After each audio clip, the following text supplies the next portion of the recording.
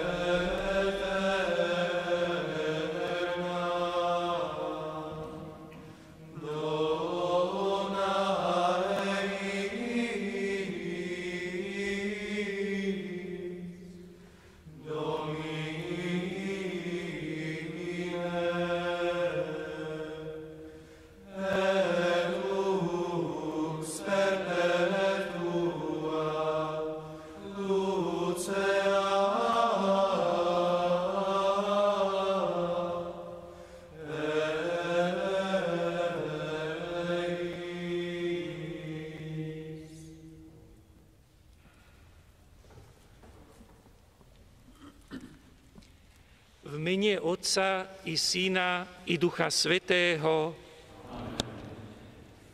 Pokoj s vami. Drahí oltárni spolubratia v biskupskej, kňazskej a diakonskej službe, drahí reholníci a reholné sestry, milá smutiaca rodina, bratia a sestry v Kristovi. Zomrel biskup Kristov služobník, správca Božích tajomstiev a otec všetkých veriacich v tejto diecéze. Je prirodzené, že máme žiaľ, tak ako sám Ježiš žialil a plakal, keď mu zomrel priateľ Lazár. Ale tento smutok nám pomáha prekonávať veľkonočná viera. Veď v biskupovi obklopenom jeho kňazmi a veriacimi je uprostred nás prítomný sám náš Pán Ježiš Kristus, väčší veľkňaz.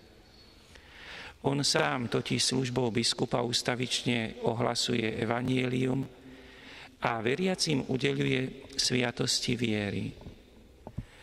On sám nás múdrosťou a rozvahou biskupa pozemskou púťou vedie do väčšnej blaženosti. Nábožne a s touto vierou sa zúčastníme na pohrebných obradoch a obetujme svetú omšu a sveté príjmanie za zosnulého otca biskupa Štefana, aby sa čím skôr dostal do spoločenstva svätých apoštolov v nebi. Zjednoďme sa s celou církvou v spoločnej modlitbe za jeho spásu. Modlíme sa za zomrelých veriacich.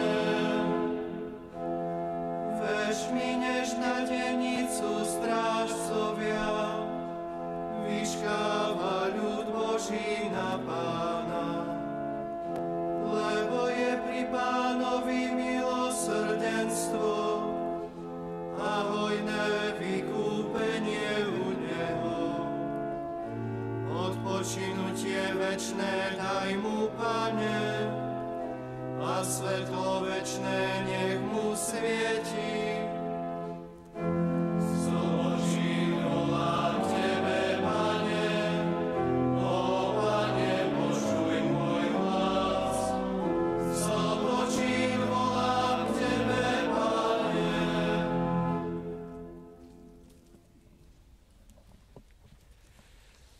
Modlíme sa, Všemohúci Bože, svojho služobníka biskupa Štefana si obdaril veľkňazskou hodnosťou a ustanovil si ho za nástupcu apoštolov. Vrúcne ťa prosíme, aby sa v spoločenstve svätých apoštolov väčšine radoval v Tvojom kráľovstve skrze Krista, nášho pána. Amen.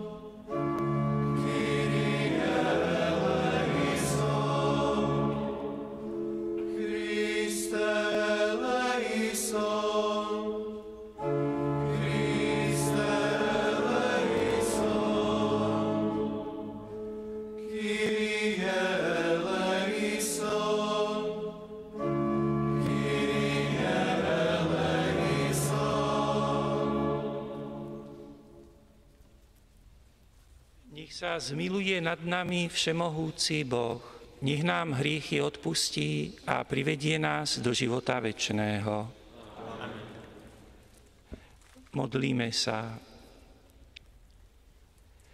Všemohúci Bože, prosíme ťa za Tvojho služobníka, nášho zosnulého biskupa Štefana, ktorému si zveril starosť o túto diecézu. Odmeň ho za jeho apoštolskú prácu a daj mu účasť na väčšnej radosti.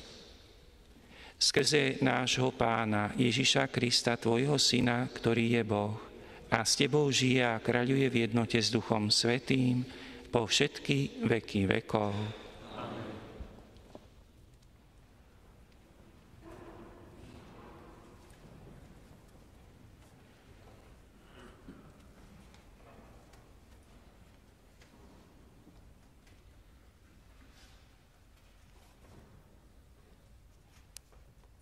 Čítanie z knihy proroka Izaiáša.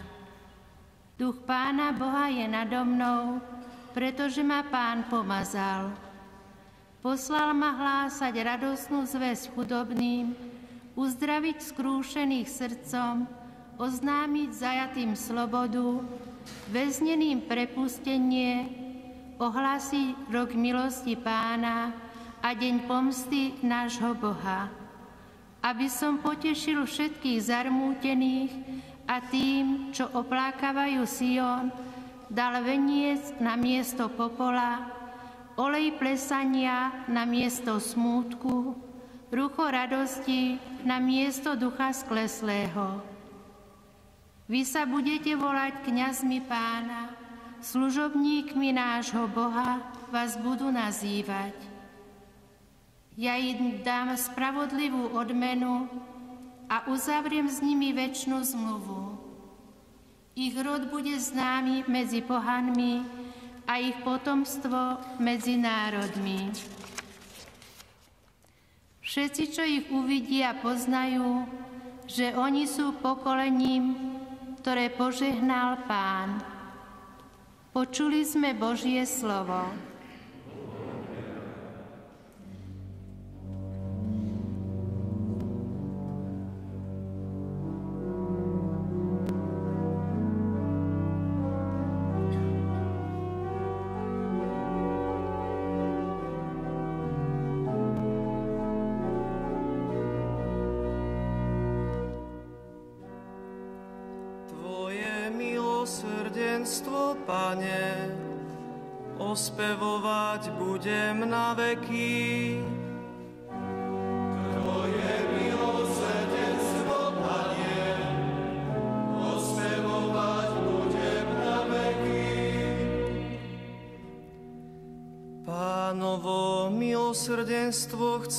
Ospevovať na veky.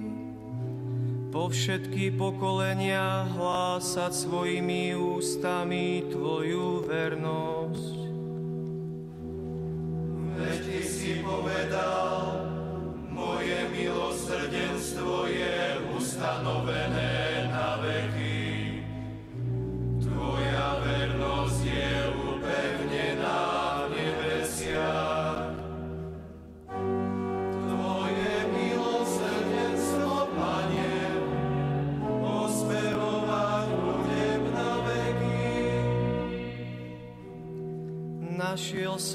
Svojho služobníka Dávida. Pomazal som ho svojím svetým olejom.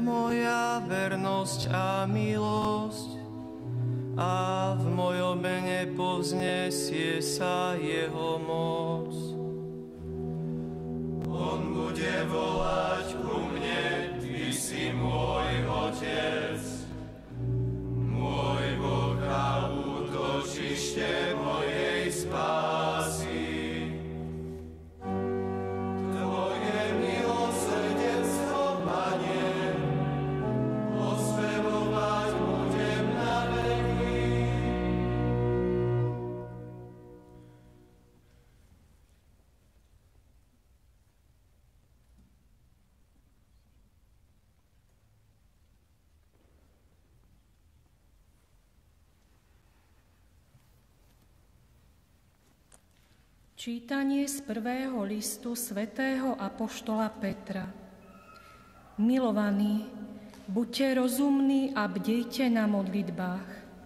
A predovšetkým majte vytrvalú lásku jedni k druhým, lebo láska zakrýva množstvo hriechov.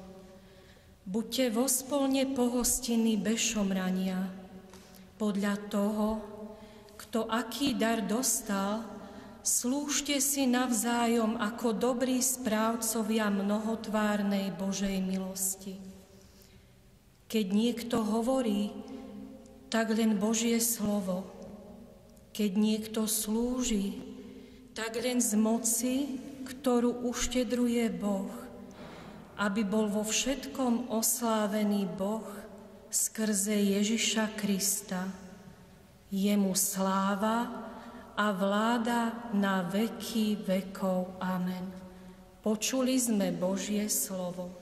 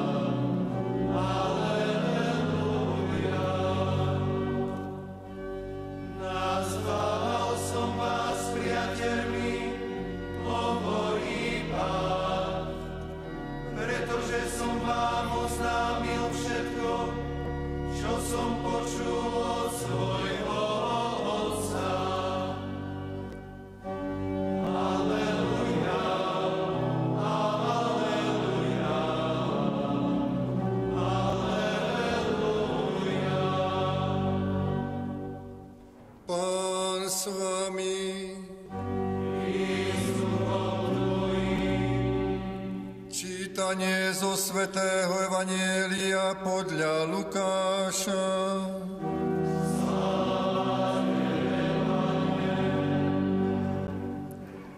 Ježiš povedal svojim učeníkom, bedrá majte opásané a lampy zažaté. Buďte podobní ľuďom, ktorí očakávajú svojho pána, keď sa má vrátiť zo svadby, aby mu otvorili hneď ako príde a zaklope. Blahoslavení sluhovia, ktorých pán pri svojom príchode nájde bdieť. Veru hovorím vám, opáše sa, posadí ich k stolu a bude ich obsluhovať.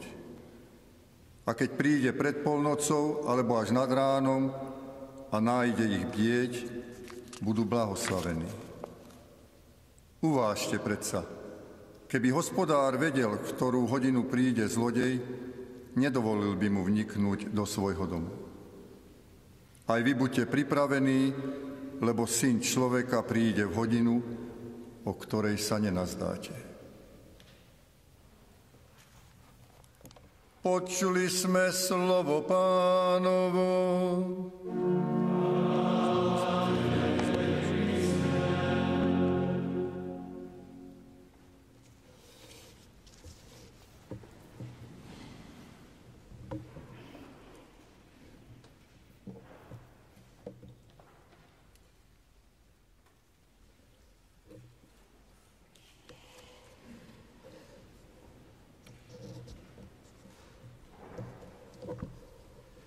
Excelencie,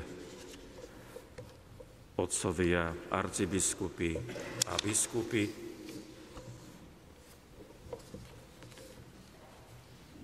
bratia kňazi,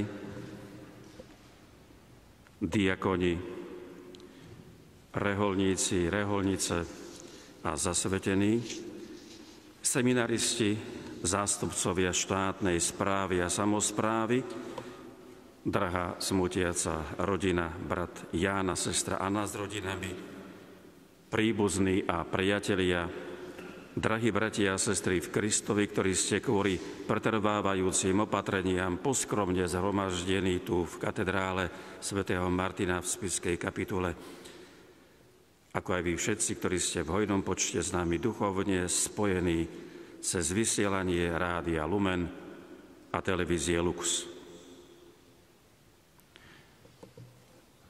Zomrel otec a dobrý pastier tejto Bohom milovanej spiskej diecézy. Vrátil sa do domu nebeského Otca v čase, ktorý je kruto poznačený pandémiou a prísnymi reštrikciami. Vstúpil do väčšnosti v období, kedy naozaj všetci spomíname a s modlitbou vysielame k Bohu naše prozby a vďaky za našich blízkych zosnulých. A keďže pre mnohých z nás sa aj biskup Štefan Sečka stal blízkym a milovaným človekom, chceme našou modlitbou a účasťou na tejto Eucharistii i pohrebných obradoch vyjadriť Bohu vďaku za jeho život a službu kniaza i biskupa. Na chvíľu si teraz zaspomínajme a pripomeňme si jeho životnú púť, ktorá sa začala v početnej rodine v Spiskom štvrtku. Po kniazkej vysviacke v roku 1976 bol kaplánom v Spiskej Novej Vsi a v Dolnom Kubíne. Neskôr sa stal správcom farnosti v Liptovských Revúcach. Dodnes tam spomínajú na neho ako na horlivého kniaza. Po nežnej revolúcii dostal náročnú úlohu, stal sa vicerektorom tunajšieho kniazského seminára a spolu s tedajším rektorom Jozefom Jarabom sa podujali na obnovu celej štruktúry a budov pre interdiecézny seminár Spiš, Košice, Rožňava. Štefan bol veľmi usilovný a húževnatý. A dá sa povedať, že pre seminár obetoval svoje zdravie. Práce viedol nielen počas akademického roka, ale i počas prázdnin spolu s farnosťami z troch diecéz. Žil naplno so seminárom i s každým bohoslovcom. Na tie roky preplneného seminára mnohí radi spomínajú, on poznal všetkých po mene, lebo mal perfektnú pamäť. Pre jeho vernosť a disponibilitu ho pán v roku 2002 znovu zavolal po mene. A Štefan nezutekal pred novou výzvou, prijal biskupské svetenie i s, tými spojenú, a s tým spojenú aj službu. Spolu s pomocným biskupom Andrejom Mimrichom bol najbližším spolupracovníkom už zosnulého biskupa Františka Tondru. Je treba vyzdvihnúť ich korektné vzťahy a veľkú dôveru, keď bol poverený majetkovo-ekonomickými záležitosťami diecézy, ktoré už predtým mohol okúsiť v úlohe vicerektora seminára.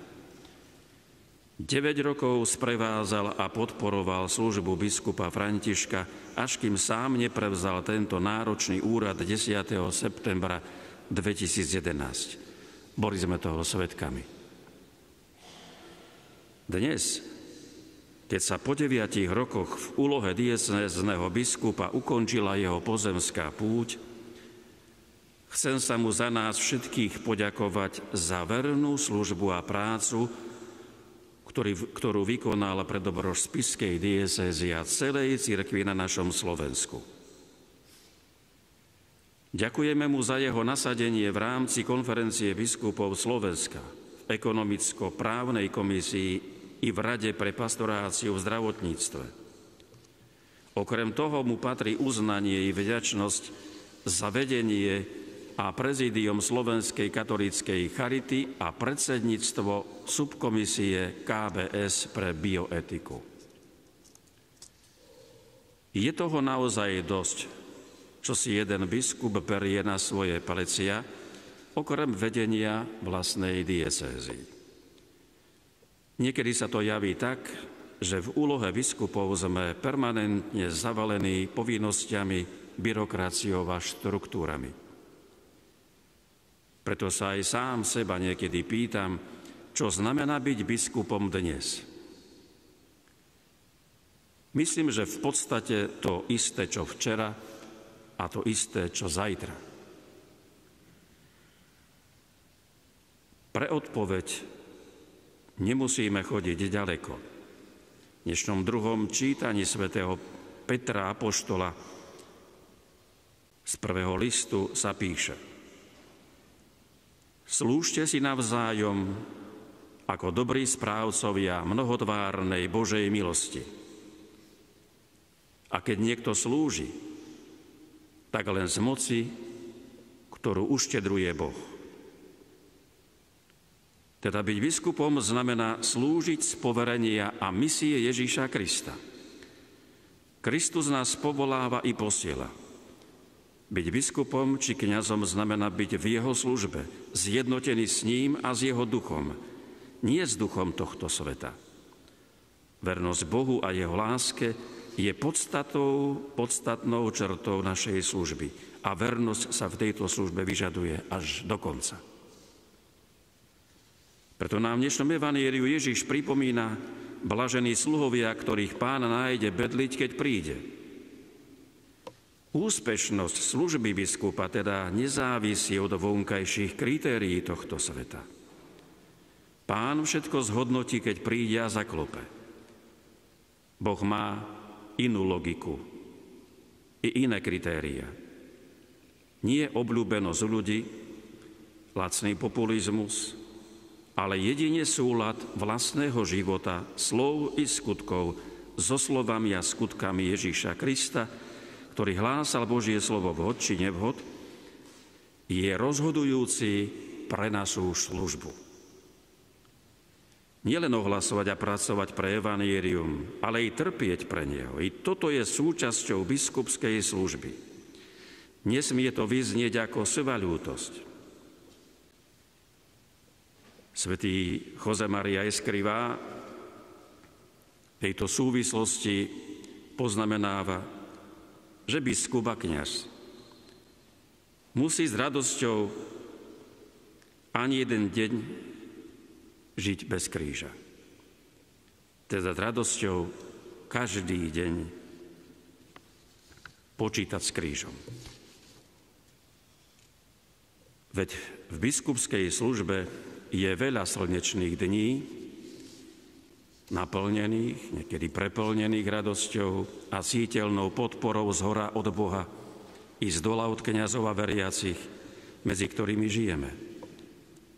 Skôr nech je to chápané ako reálny pohľad na službu biskupa bez namýšľaného martíria či honorov, uctievania a okviazania. No pravda je taká, že náš zosnulý spolubrat biskup Štefan završil svoju službu v posledných rokoch nesením ťažkého kríža v podobe podlomeného zdravia. Aj keď o tom nehovoril, lebo nerád rozprával o sebe, predsa v poslednom čase bolo na ňom vidieť, že mal veľké bolesti, ktoré ale statočne znášal. Isté aj táto skúsenosť formovala jeho srdce vo veľkej empatii voči chorým a handicapovaným, ktorých nikdy neobchádzal. Tiež sa vedel vžiť do neľahkého života ľudí na okraji spoločnosti a zvlášť Rómov, ktorým sa vedel prihovoriť a pre ktorých vytvoril skupinu kňazov, aby sa im systematicky venovali. A nielen bolesti tela, ale aj starosti v službe znášal veľmi trpezlivo. Biskup Štefán bol človekom rozvahy. Jeho najbližší spolupracovníci potvrdujú, že nikdy neriešil veci unáhlenie. Usiloval sa najskôr spoznať problém, pochopiť všetky skutočnosti, nechával si čas na dôkladné premyslenie a potom vyšiel s riešením. Niekomu sa mohlo prizať, pritom zdať, že je príliš pomalý, no nebolo tomu tak. Práve tá jeho rozvaha mu neraz pomohla, že sa v riešeniach a v rozhodnutiach, ktoré musel vydať, nepomýlil. Tak sa do poslednej čiarky naplnilo jeho biskupské heslo Crux Christi perficiat nos. Kristov kríž nech nás zdokonalí.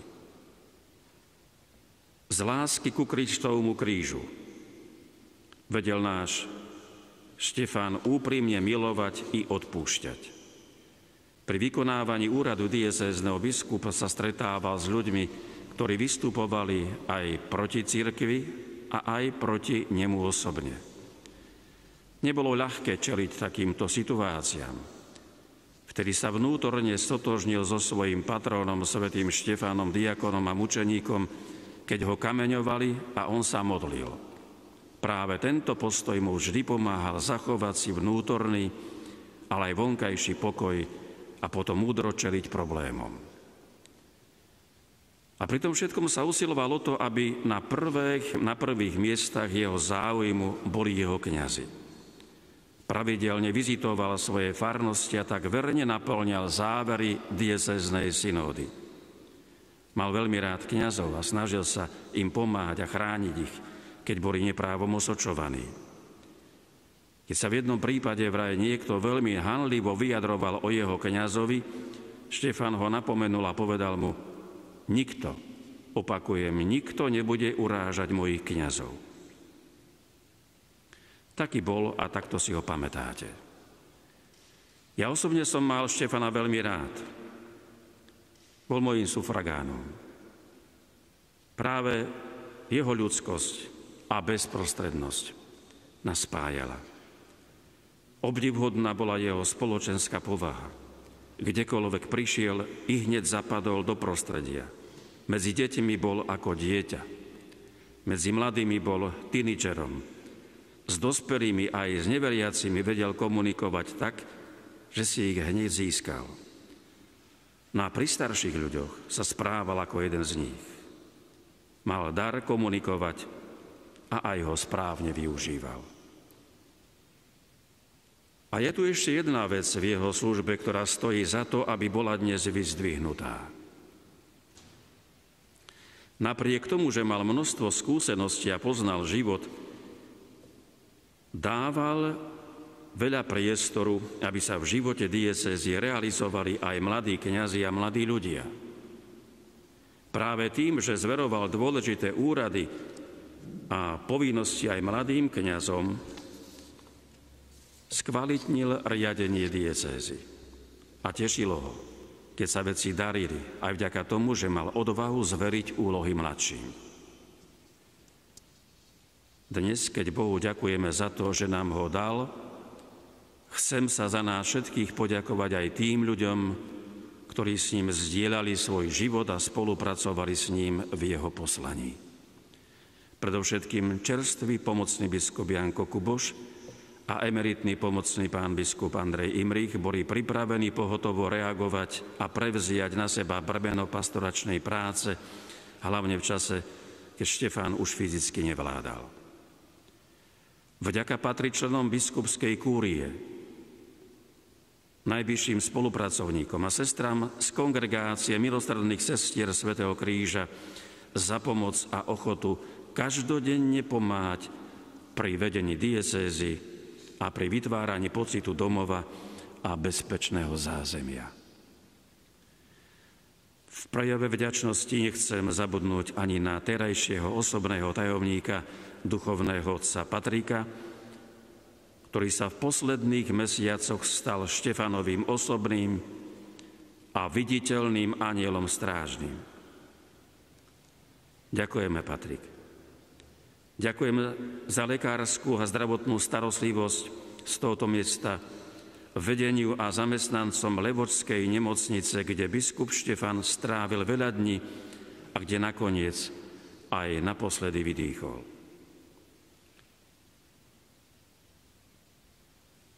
Týmto slovám vďačnosti a pozdravom kondolencie sa pripája aj náš pán kardinál Jozef Tomko. Všetkých vás srdečne pozdravuje a spomína na Tatry, na Spiš, na túto katedrálu s veľkým nadšením a povzbudením. Drahí bratia a sestry, Pastier a biskup, náš milovaný Štefan, už zakončil svoju pozemskú púť na chválu Kristovho mena a je už vo väčšnosti. Nebeská matka Pana Mária Levočská ho už privádza k svojmu synovi a prosí, aby Ježiš zahojil to, čo bolo slabé a zranené na jeho duši. A teraz sme na rade my. Snažme sa, tak ako on, zanechať po sebe na tejto zemi viditeľnú stopy, stopu lásky, obety a vernosti. Amen.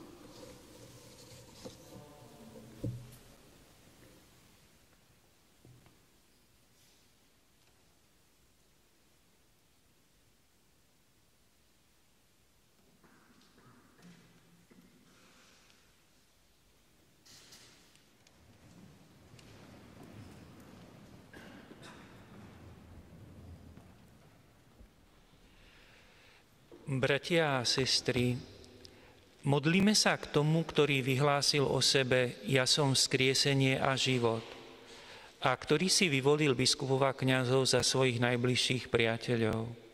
Pane Ježišu, Ty si do biskupskej služby povolal nášho brata biskupa Štefana. On spravoval kňazov i veriacich tejto diecézy, slúžil im a staral sa o ich duše. Ďakujeme Ti, že mohol ohlasovať Tvoje slovo, sláviť Eucharistiu a vysluhovať všetky sviatosti. Ďakujeme Ti za všetko dobré, čo vykonal a preto spoločne voláme, ďakujeme Ti, Pane. Ďakujeme Ti, Za roky, počas ktorých biskup Štefan pracoval na Tvoju chválu a spravoval jemu zverené kňastvo a Boží ľud. Za jeho námahy pri budovaní Božieho kráľovstva medzi nami v tejto diecéze. Za znamenia jeho života, prostredníctvom ktorých sa ľudia mohli dozvedieť o Tvojej láske, dobrote a Tvojom milosrdenstve. Za jeho život a pastierskú službu, ktorú v cirkvi vykonával. Bratia a sestry, teraz prosme pána, aby prijal nášho zomrelého biskupa Štefana do svojho kráľovstva a aby mu daroval dokonalosť, po ktorej tak túžil. Nech jeho služba v diecéze, v ktorej pôsobil, prinesie nám a celej cirkvi dobré ovocie. Odpusť mu viny a hriechy a doplň a naprav, čo chýbalo jeho pôsobeniu. Poteš naše spoločenstvo nádejou na opätovné stretnutie sa s ním v Tvojom kráľovstve. Daj, aby jeho biskupská služba bola dobrým príkladom pre nové kňazské a reholné povolania. Tvoj služobník, biskup Štefan, vykonával v cirkvi veľkňazskú službu. Daj mu účasť aj na nebeskej liturgii.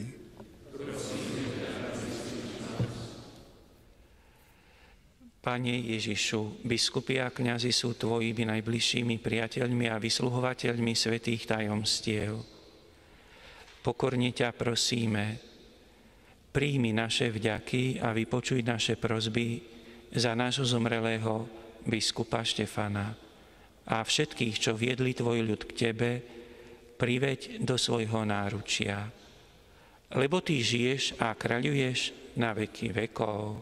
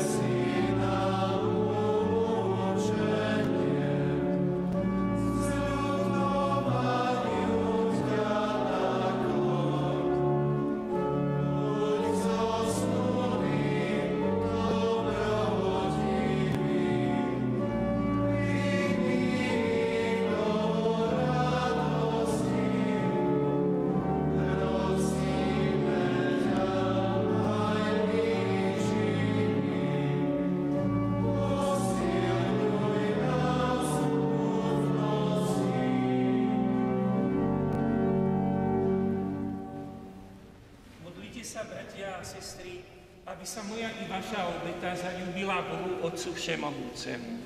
Nechal príjme obetu z tvojich rúk, na chválu a slávu svojho mena, na užitok nám i celej svetej cirkvi.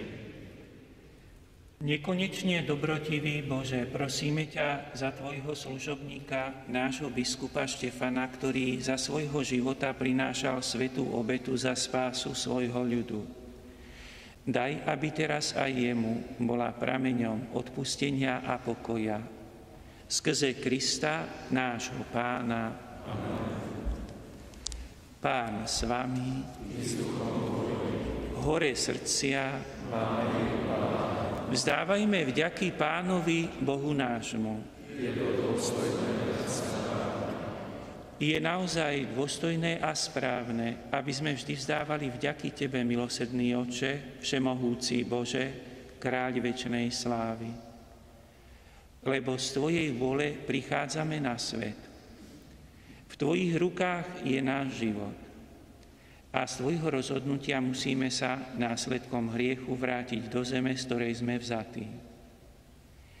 Ale na tvoj mocný pokyn, všetci vykúpení smrťou tvojho syna, budeme vzkriesení, aby sme mali účasť na sláve jeho zmrtvých stania. Preto so zástupmi anielova svetých z celej duše spievame na tvoju slávu. thank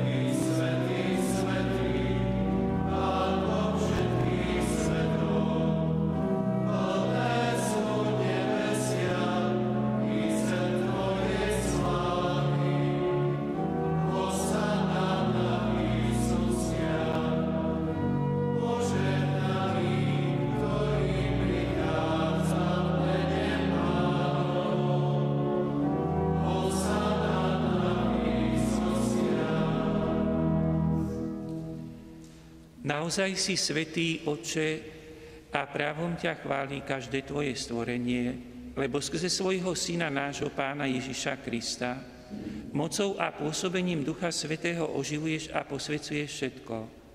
A ustavične si zhromažuješ ľud, aby od východu slnka až po jeho západ prinášal tvojmu menu obetu čistú.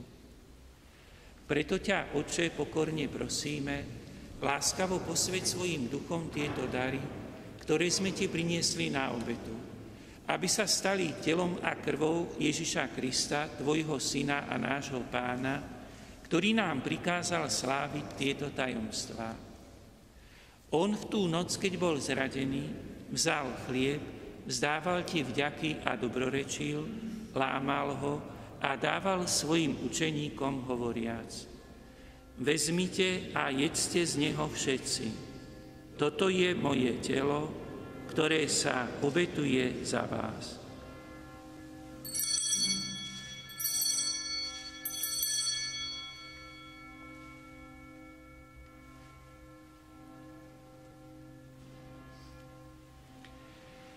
Podobne po večeri vzal kalich, vzdával ti vďaky, dobrorečil a dal ho svojim učeníkom hovoriac.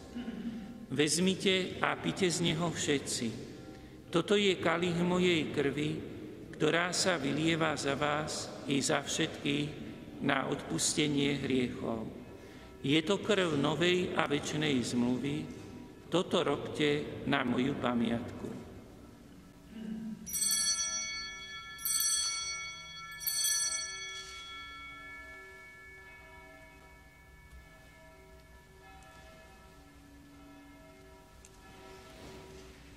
Hľa tajomstvo viery, smrť Tvoju, Pane, zvestujeme a Tvoje zmrtvých stanie vyznávame, kým nepríde sláva. Preto, Oče, keď slávime pamiatku spásonosného umúčenia Tvojho Syna Jeho slávneho zmrtvých stania a na nebo vstúpenia, a kým očakávame Jeho druhý príchod, prinášame Ti so vzdávaním vďaky, túto živú a svetú obetu. Zhliadni prosíme na dar svojej cirkvi a spoznaj v ňom obetovaného baránka, ktorý podľa Tvojej vôle zmieril nás s Tebou. A všetkých, ktorí sa živíme telom a krvou Tvojho Syna, naplni Duchom Svetým, aby sme boli v Kristovi jedno telo a jeden duch. Nech Duch Svetý urobí z nás ustavičnú obetu pre Teba, aby sme dostali dedictvo s Tvojimi vyvolenými, najmä s preblahoslavenou Pannou Máriou Božorodičkou, so svetým Jozefom, jej ženíchom, s Tvojimi svetými apoštolmi a slávnymi učeníkmi, so svetým Martinom, patronom tejto diecézy, a so všetkými svetými, ktorí nám, ako úfame, ustavične pomáhajú svojim orodovaním u Teba.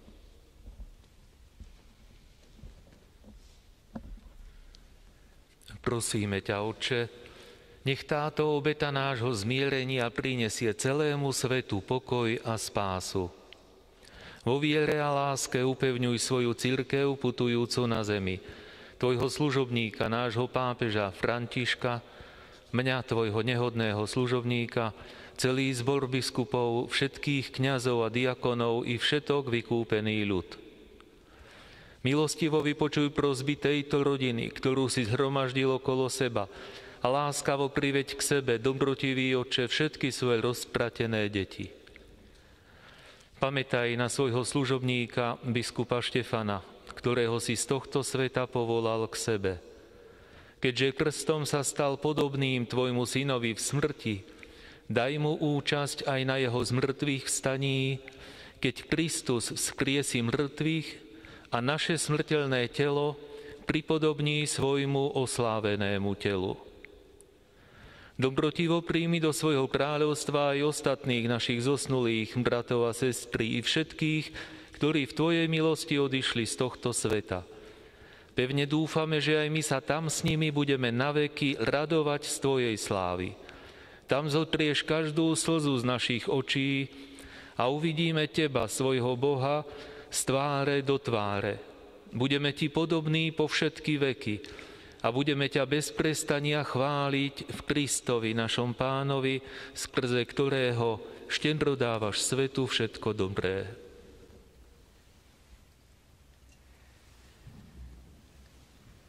Skrze Krista, s Kristom a v Kristovi máš Ty, Bože Oče Všemohúci, v jednote s Duchom Svetým, všetku úctu a slávu po všetky veky vekov.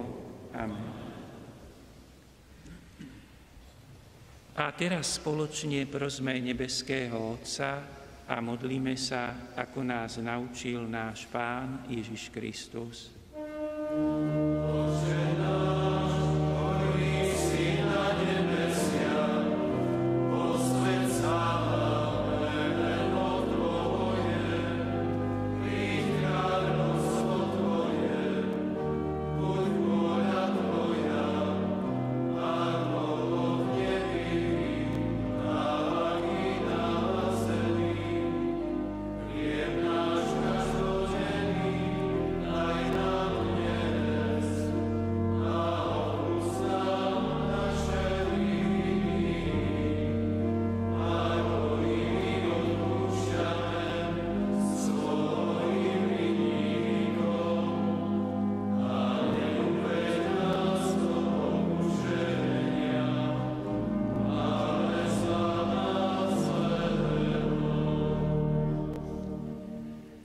Prosíme ťa, Otče, zbav nás všetkého zla, udeli svoj pokoj našim dňom a príď nám milosrdne na pomoc, aby sme boli vždy uchránení pred hriechom a pred každým nepokojom, kým očakávame splnenie blaženej nádeje a príchod nášho Spasiteľa Ježiša Krista. Lebo Tvoje je kráľovstvo a moc sláva Pane Ježišu Kriste, Ty si povedal svojim apoštolom, pokoj vám zanechávam, svoj pokoj vám dávam. Nehľade na naše hriechy, ale na vieru svojej cirkvi a podľa svojej vôle jej milosti daruj pokoj a jednotu, lebo Ty žiješ a kráľuješ na veky vekov. Pokoj pánov nech je vždy s vami. Dajte si znak pokoja. Pokoj a bratská láska nech je medzi nami.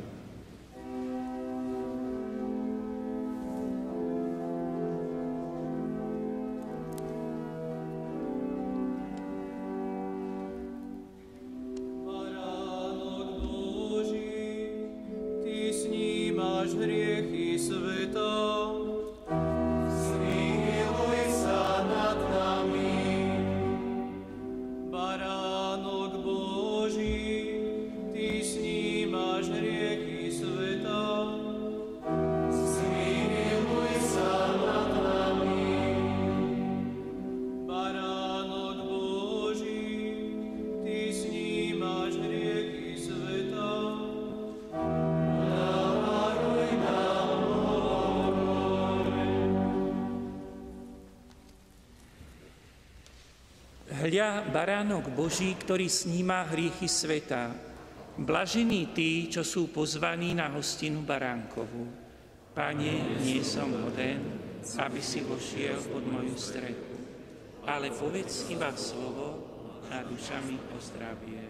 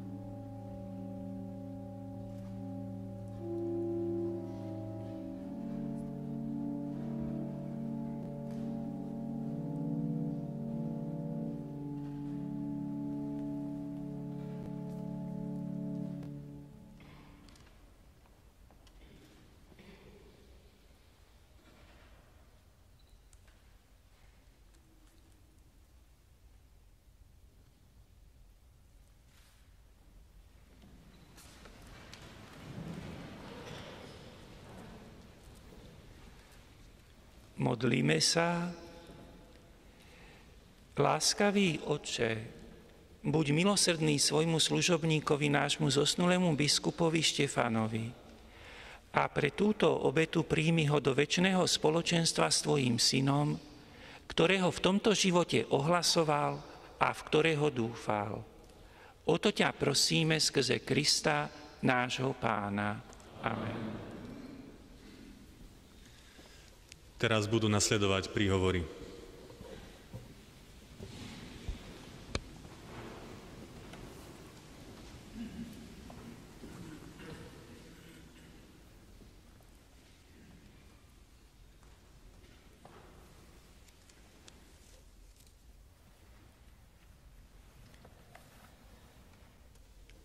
jeho excelencii, monsignorovi Jánovi Kubošovi, dieceznému administrátorovi Spišskej diecézy.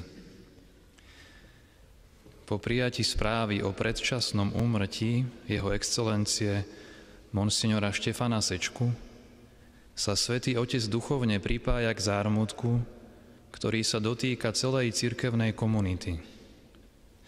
Pripomína si obetavú službu, ktorú zosnulý biskup konal ako pastier tejto diecézy a vo vrúcnej modlitbe sa prihovára za jeho dušu, ktorú zveruje nebeskému orodovaniu pre blahoslavenej Panny Márie. Jeho svetosť prosí pre zosnulého väčšinu odmenu, slúbenú verným služobníkom Evanielia a ochotne udeluje svoje apoštolské požehnanie vám, ostatným biskupom, prítomným na slávení rozlúčky, kňazom, všetkým veriacim, ako aj príbuzným zosnulého biskupa. Kardinál Pietro Parolín, štátny sekretár jeho svetosti.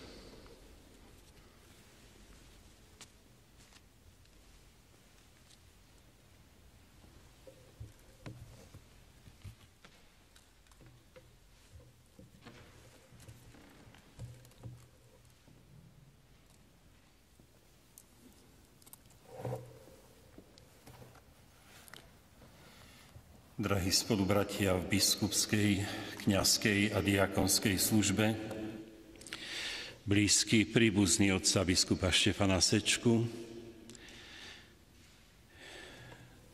ctihodné reholné sestry, vážení predstavitelia samozpráv a zarmutení kňazi a veriaci osirelej spískej diecezy. Chcem sa rozlúčiť so zosnulým spolubratom v biskupskej službe monsignorom Štefanom Sečkom v mene Rady hierarchov grecko-katolíckej církvy Sui Juris na Slovensku i v mene svojom.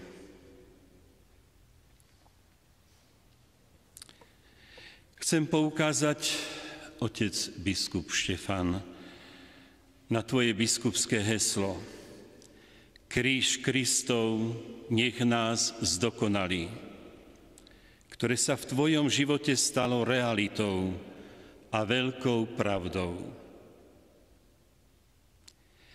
Každý človek nesie vo svojom živote svoj vlastný kríž, ktorý môže mať rôzne podoby. Či už sú to choroby tela, či ťažkosti vyplývajúce zo svojej práce, či kríž, ktorým ho obdarovali blízki či vzdialení ľudia, či je to kríž rôznych podrazov. Ale podstatné je to, ako sa ku krížu staviame my sami či ho odmietame a nadávame naň, alebo či ho považujeme za prostriedok svojho dozrievania. Ty, otec biskup Štefan, si videl každý ľudský kríž v perspektíve Kristovho víťazného kríža, z ktorého každý kresťan môže čerpať potrebnú silu, a s ktorým môže výťaziť. Toto si si uvedomoval nie len na začiatku svojej biskupskej služby, ale aj počas celej, celého je, jej trvania. Môžeme povedať, že práve cez Kristov kríž si bol každý deň zameraný k svojmu väčšnému cieľu, k Ježišovi Kristovi, ktorý prišiel na túto zem, aby nás svojim krížom a zmrtvým vstaním vykúpil a zachránil. Aj nám, tvojim spolubratom v biskupskej službe, si bol veľkým príkladom, okrem iného aj nesením svojho vlastného kríža, svojej choroby. Staral si sa o mládež, o rodiny, o núdznych a opustených ľudí, pravda, že o seminaristov a svojich kňazov. Celou dušou si sa venoval slovenskej katolickej charite, na čele ktorej si stál dlhý čas. Staral si sa najmä o dobrú formáciu tak duchovenstva, ako aj veriacich. Nech ťa Pán života a smrti Ježiš Kristus za to štedro odmení.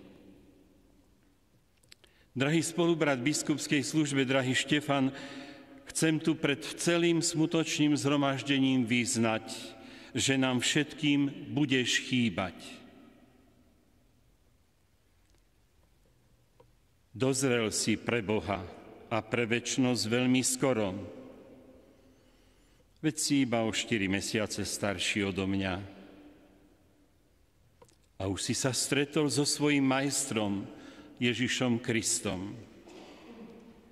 Prihovaraj sa za nás všetkých, aby sme dozrievali vo viere a v láske, ale aj v tom, čo od nás očakáva Ježíš, náš majster v týchto pohnutých časoch, aby sme zodpovedne čelili pandémii a posilňovali ľudí vo viere a v odvahe, aby sme mu všetci horlivo slúžili s celým srdcom a denne odpovedali na jeho nikým neprekonanú Božiu lásku k nám ľuďom.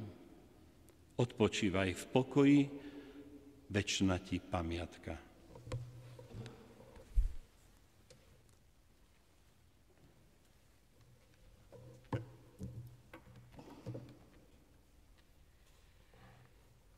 Drahí bratia v biskupskej, kňazskej, diakonskej službe, drahá smutiaca rodina, milí zasvetení bratia a sestry, chcem sa teraz pri pohrebných obradoch pripojiť k poďakovaniu a prozbám pred pánom vo vzťahu k životu otca spiského diecezneho biskupa Štefana Sečku, v mene konferencie biskupov Slovenska.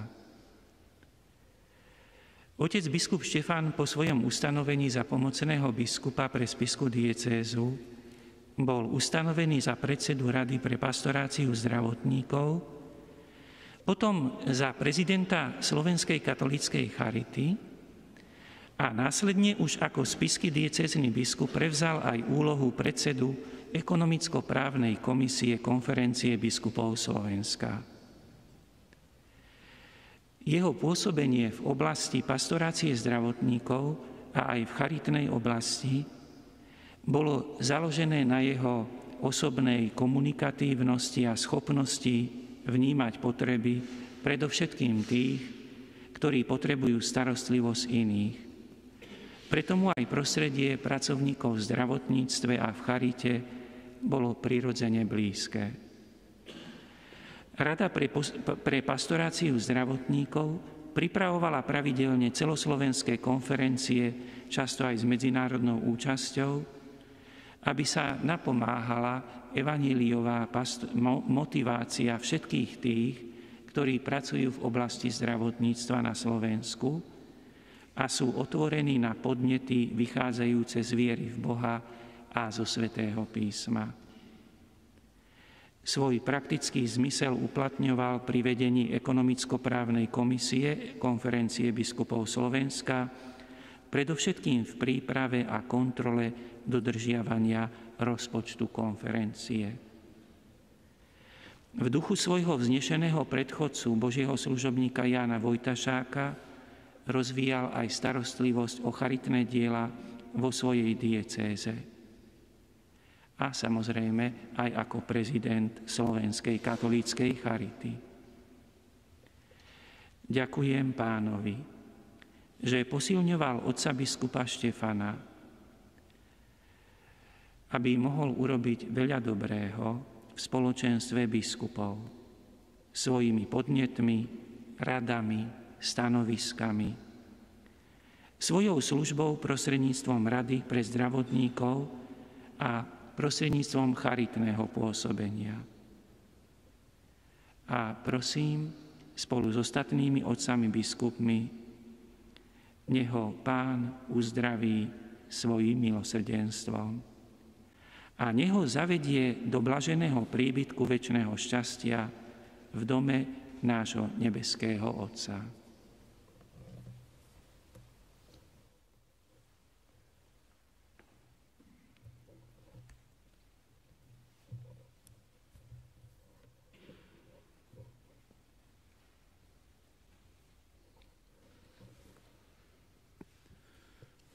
Drahá smutiaca rodina, excelencie, otcovia arcibiskupy, metropoliti Stanislava Bernard, excelencia arcibiskup metropolita Vladyka Jána, excelencie arcibiskupy a biskupy Slovenska, Chargé d'affaires z apoštolskej nunciatúry na Slovensku, monsignori, páni dekani,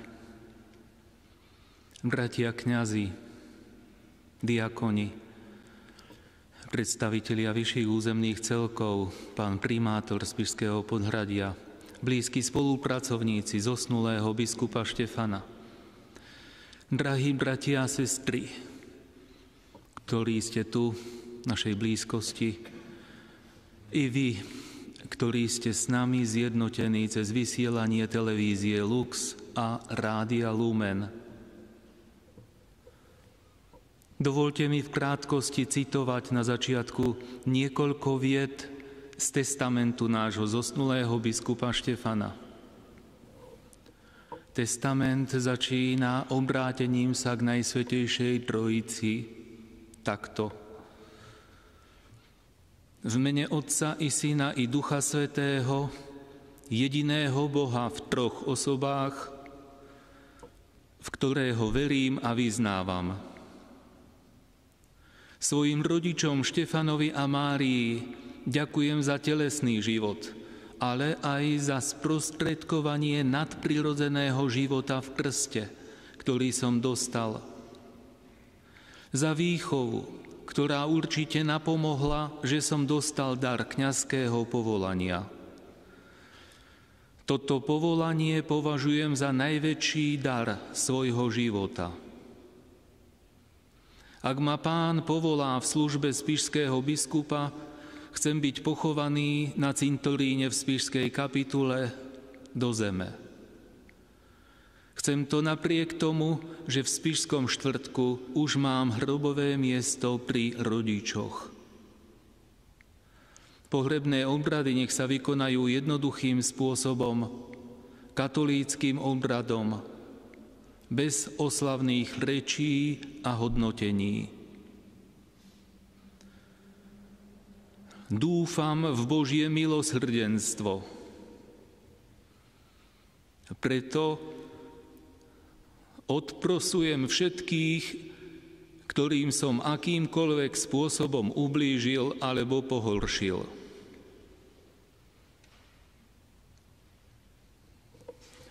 Dobrotivý Bože, milosrdenstvo.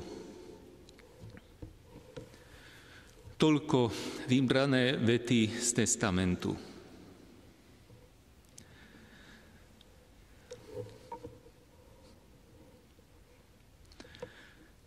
Drahý náš otec biskup Štefan, v mene Božieho ľudu Pišskej diecézy, ktorého súčasťou sú vysvetení služobníci církvy i zasvetené osoby, ale aj v mene mnohých ľudí z celého Slovenska či zo zahraničia a tiež v mene svojom i v mene biskupa Andreja, chcem sa poďakovať Pánu Bohu za tvoj život, ktorý sa stal darom pre církev, osobitne pre našu partikulárnu církev tu pod Tatrami.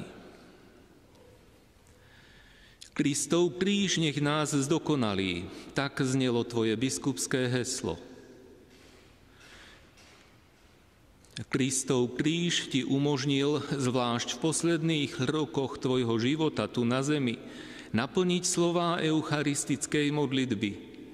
Nech Duch Svetý urobí z nás ustavičnú obetu pre Teba. Ďakujeme Ti za všetku Tvoju službu, ktorou si posvecoval sebe zverený kresťanský ľud. Sám Pán, nech Ti je väčšnou odmenou v nebi. Amen. Ďakujem všetkým, ktorí ste akýmkoľvek spôsobom pomáhali a starali sa o zdravie biskupa Štefana, zvlášť v posledných rokoch jeho života tu na zemi.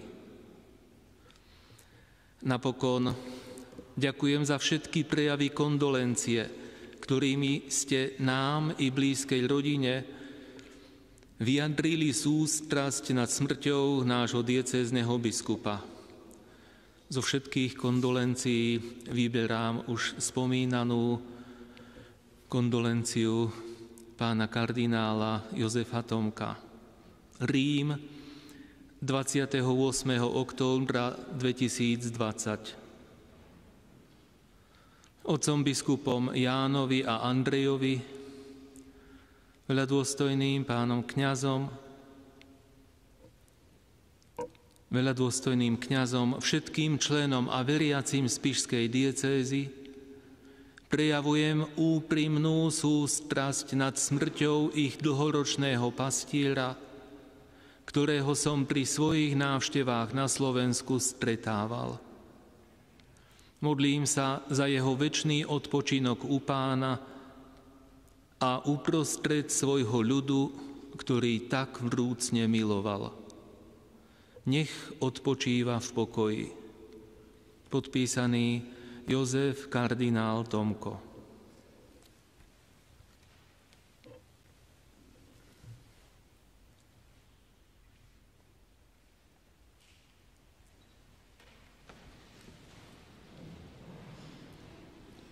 Teraz, milí bratia a sestry, sa uzatvára televízny prenos televízie Lux tý, z týchto pohrebných obradov a slávenia pohrebnej svetej omše.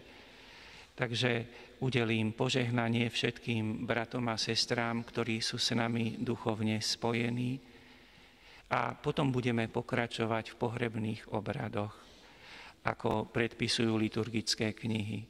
Pán s vami, nech vás žehná všemohúci Boh, Otec i Syn i Duch Svetý. Amen. Iďte v mene Božom.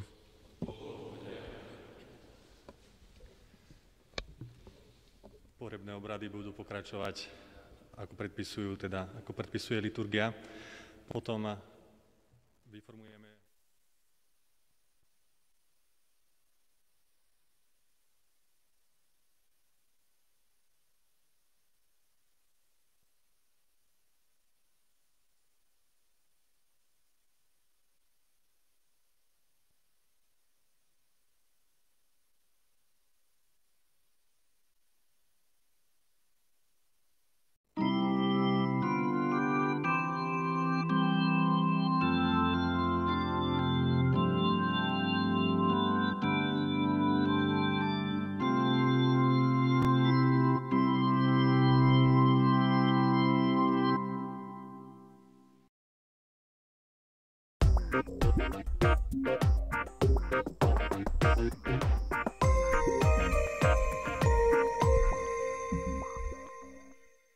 Všetkých ctiteľov a obdivovateľov svätého Pátra Pia prináša televízia